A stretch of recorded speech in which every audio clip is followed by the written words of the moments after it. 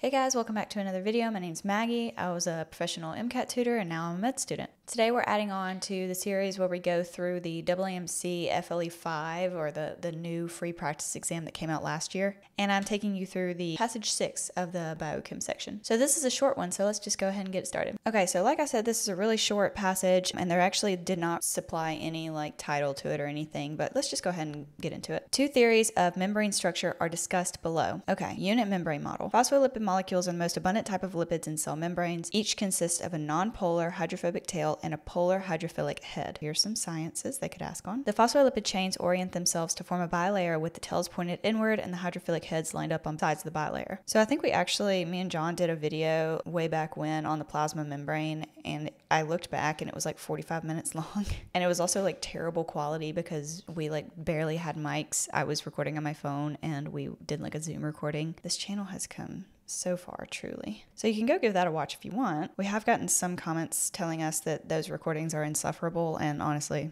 I agree. But anyway, if you're not familiar, this is the typical structure of a, the phospholipid bilayer. These are your hydrophilic heads on either side, and then the hydrophilic uh, tails on the inside. An extended monomolecular layer of protein coats both the outside of the membrane and the inside of the bilayer, but the protein does not penetrate the bilayer. Okay, so they're saying that we got proteins out here, but they do not go into this bilayer. When thin slices of membrane were examined with an electron microscope, three layers were seen two electron dense layers and one wider layer between them. It was believed that the electron dense layers represented proteins and the lighter area represented lipids. So I guess electron dense areas two of them, and then on the inside you have that a wide layer between them. Okay, so pretty simple. On to fluid mosaic model. And if you're not familiar, this is the currently accepted model for the plasma membrane. The structure of the fluid mosaic membrane is a bilayer of phospholipid molecules with proteins inserted into the bilayer. So similar to this, but they're saying that these proteins are actually like have little stems that insert into the bilayer. Hydrophilic regions of both the lipids and proteins are found on the outside surface, while the hydrophobic regions of both types of molecules are found on the inside surface. So that's something new. They're saying that there is a hydrophobic region to these proteins, and that's what's kind of inserted here on the inside. Because lipids are not fixed rigidly in the membrane, the membrane is capable of fluid movement, hence fluid mosaic model. The theory that proteins penetrate the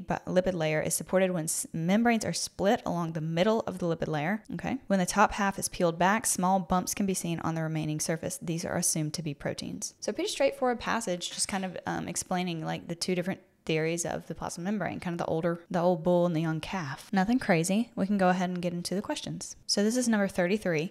How does the unit membrane model differ from the fluid mosaic model? So let's think about this. Think about it in your head before you go into the answer choices. What's the big difference between these two models that is described in the passage? I know there are other differences. The big thing are these protein tails, that there are proteins, hydrophilic regions of proteins that are inserted into the bilayer. That's the fluid mosaic model, whereas the unit membrane model just said that they were sitting on either side. So A says the location of proteins differs in the two models. Okay, partly, right? Like they both said that proteins were out here on the outside, but also like this portion of the protein, like its location or even its existence is only stated in the fluid mosaic model. So I can sort of get behind that, maybe. B says the unit membrane model has a monomolecular layer of protein on each surface. That's true, right? Because we were told this. While the fluid mosaic model has a bimolecular layer of protein on each surface. So that's not true. And we were not told that in the passage. But you might get confused because it is talking about protein and it is talking about the difference in the proteins between the two models, which is the big thing. But it's not necessarily that there's a bimolecular layer. I'm taking that to mean like two layers of proteins, perhaps. It's that there's a difference in how far these proteins extend into this layer or this hydrophilic layer or hydrophobic layer. So I'm not liking that one. I don't like it as well as A, but I'll still put a maybe beside it because it is talking about proteins. C says the unit membrane model has one layer of phospholipids while the fluid mosaic model has two layers. They both had two layers, right? So that's mark out. D says the unit membrane model contains dissolved protein while the fluid mosaic model is coated with a monomolecular layer of protein on each surface. So that monomolecular layer of protein on each surface was one thing that was specific specifically said for the unit membrane model. And neither one of them really talked about dissolved protein. I'm not really sure what they're trying to get at there. I don't know if they're trying to get at the part of the protein that's in the lipid bilayer. But regardless, even if that is what they're talking about, they have the, these models switched backwards, right? So between A and B, how do we pick? Well, we don't have any evidence to say that this bimolecular layer of protein exists in the fluid mosaic model. But we do know that at least partially the location of proteins differs in the two models. So I think A is going to be our best answer here. Number 34 says, which of the following observations would invalidate the unit membrane model? Okay, so this is the old bull this is the one that was talking about how the proteins are just on this either surface, right? And we're trying to find something that invalidates that and likely is going to validate the fluid mosaic model. So I'm going to have my ears kind of listening out for something along the lines of they found proteins in the hydrophobic layer. A. When a thin section of membrane is observed using a microscope at high magnification, two layers of phospholipid heads are observed. Does the unit membrane model say that? Yes. So that would not invalidate, that would validate. So not that one. Thermodynamic measurements indicate that the phospholipid heads are exposed to water. So the phospholipid heads are the hydrophilic portions of the bilayer and we know that they're exposed to water, you know, hydrophilic, water loving, all that, that just validates it. That is known. That doesn't do anything to the unit membrane model. C, when a membrane is frozen and then split from surface to surface, proteins are observed within the hydrocarbon chains. Boom. That's what we want to hear, right? Because the big thing with the unit membrane model is that there are no proteins within that hydrocarbon chain, the hydrophobic, the inside of the phospholipid bilayer. So I definitely like that one. I'll put a little squiggly by it. D, thermodynamic measurements indicate that the phospholipid tails are hidden inside the membrane away from exposure to water. So this is kind of like saying the same thing as B, but opposite. Like we know that the phospholipid tails, which are the hydrophobic parts, are inside the membrane away from exposure to water. So that's not right. C is going to be the one that uh, points towards the fluid mosaic model not towards the unit membrane model. So it is invalidating the unit membrane model. 35. If the small bumps seen when half of the membrane is peeled away were chemically shown to consist of the lipid cholesterol, ooh, how would the fluid mosaic model have to be modified? So, up here when we were talking about the fluid mosaic models, it specifically said that those small bumps are assumed to be proteins. So, basically, if they're not proteins and they're cholesterol instead, which is lipid, how would that change things? Let me ask you something. Would it completely obliterate what the fluid mosaic model is saying? Probably not. Yes, those small bumps are now known to be cholesterol, but there could still be proteins within the hydrophobic region of the membrane. It's just not the small bumps. So A says the proteins would have to be embedded less than halfway through the membrane. This is such an MCAT answer choice, and it's like, what does that even mean? I mean, maybe if we're trying to say like that, that like you cut right in the half and so they would have to be like less i mean maybe? That's kind of weird though because we we know that like transmembrane proteins they go all the way through. We know that those exist. This is just interesting. I'm going to come back to it. I'll put a maybe by it. B there could be no proteins in the membrane. Not really right? Because like that's what we were talking about earlier. Like okay now that the small little bumps are cholesterol but there could still be proteins in there. They were just not visualized with whatever they were using. So that is too radical of an answer choice. C says the lipids would have to be embedded in the proteins. I guess maybe it's talking about the cholesterol would have to be embedded in the proteins, but I don't think necessarily that, that that's kind of like a, a leap because if this lipid cholesterol is within the hydrophobic part of the membrane, why would it necessarily need to be embedded in the proteins or why would it even have to do with the proteins at all? It probably wouldn't. I don't really like that answer choice because it doesn't make any sense. Usually proteins and lipids are not interacting like a whole whole lot. At least the hydrophilic part of the protein would not be interacting with the lipids that much. So I just don't love that answer choice. I think A is honestly better. D, it would not necessarily have to be altered, but there would be less evidence supporting it.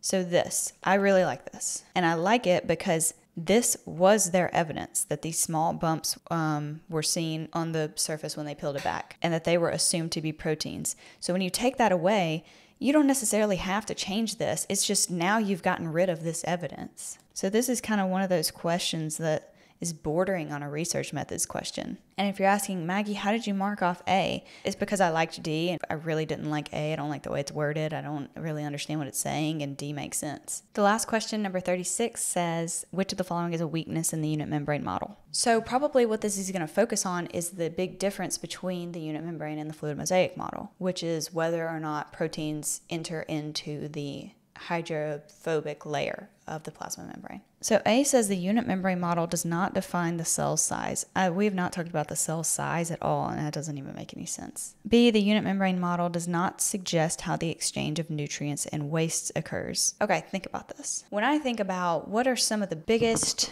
things that have to get across the cell membrane, I think of things like glucose. That's a very polar molecule, right? Well, a polar molecule is not going to be able to get across that big, thick hydrophobic layer of the plasma membrane. That's why we have like transmembrane proteins and stuff like that. So, that is a big, huge reason why the unit membrane model should not be trusted. Because how are we getting glucose in otherwise? So, I like B.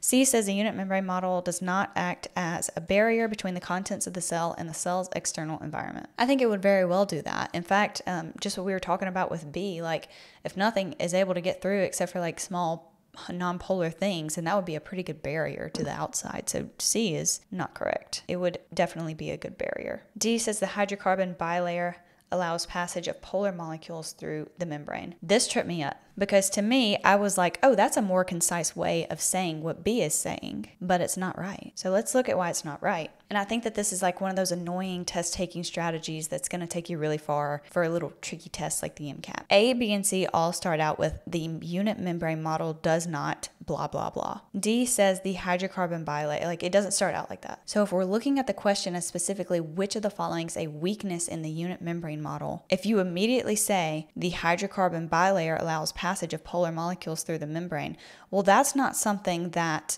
the unit membrane model says. Yeah, I know y'all are going to think I'm crazy, but I think if it said the unit membrane model does not explain how the hydrocarbon bilayer allows passage of polar molecules through the membrane, I think that would be the perfect answer.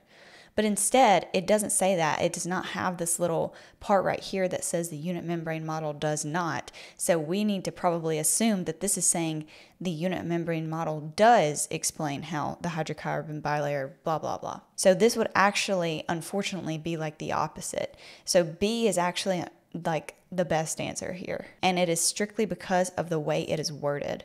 But I think that you should get between B and D because they're saying similar things. I know that it doesn't specifically say that these nutrients and wastes are polar, and so we don't like the way it's worded as much. But if you think about just some common nutrients and wastes, like like I said, glucose, like that's such a common one that has to get across the plasma membrane, then in when you say nutrients and waste, you were talking about polar things as well. So B is our best answer here. D is worded incorrectly. Okay, so that was passage six in FLE 5 on the AAMC website. I hope it made it make a little bit more sense. But if you're like, this was an easy one, I want to see harder ones, don't worry, we're going to get through the whole test. As always, hit like, subscribe to our channel if you are studying for the MCAT or know someone who is, and leave a comment down below of what you want to see next. I'll see you in the next one.